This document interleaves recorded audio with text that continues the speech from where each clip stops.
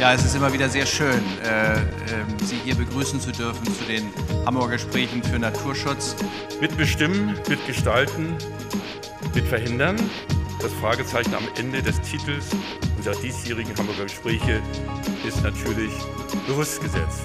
Aber was auch das Gemeinwohl ist, das heißt repräsentative Demokratie mit der Unabhängigkeit der Abgeordneten, setzt voraus einen komplexen Prozess der Vergegenwärtigung in jedem individuellen Abgeordneten, was denn wohl für alle verträglich ist. Das ist nicht viel Geld, aber Sie müssen bedenken, ähm, alle diese Gemeinden haben vorher kein Einkommen gehabt.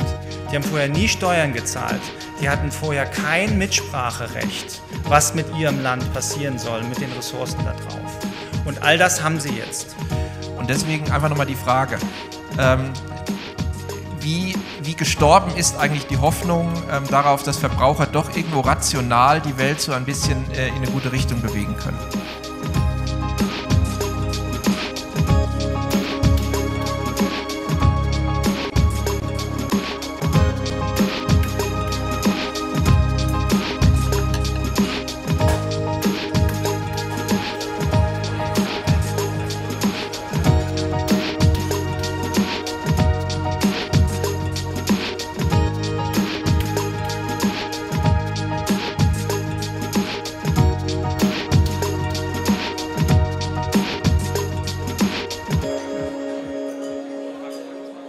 Frage, wie, wie gelingt es mir eigentlich für mein Anliegen, ähm, andere zu begeistern? Wie gelingt es mir eigentlich, andere in der Gesellschaft mitzunehmen? Wie gelingt es mir, andere ins Boot zu holen und mit anderen gemeinsam etwas umzusetzen. Ihre äh, Fragen bitten und der Erste, der die Hand oben hatte, waren Sie da ganz Mich hat bloß stutzig gemacht, wenn eine Regierung und die Vorgängerregierung, die Vorgängerregierung, wenn ständig Naturschutzgebiete ausgewiesen werden, naja gut, irgendwann ist da auch nichts mehr auszuweisen.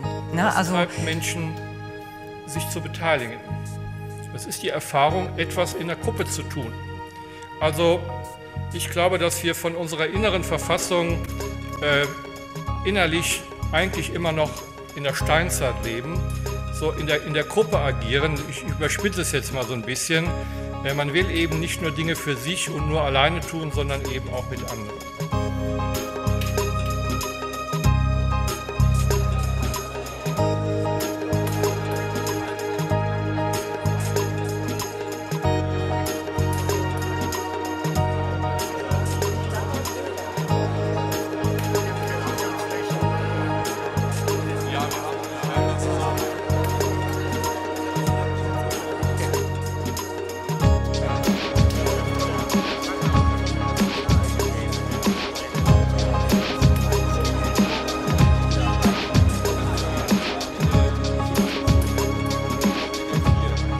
Glaube, dass es etwas gibt, was das besonders mühsam macht. Und das ist ein Dilemma oder eine Ungleichheit in der Debatte.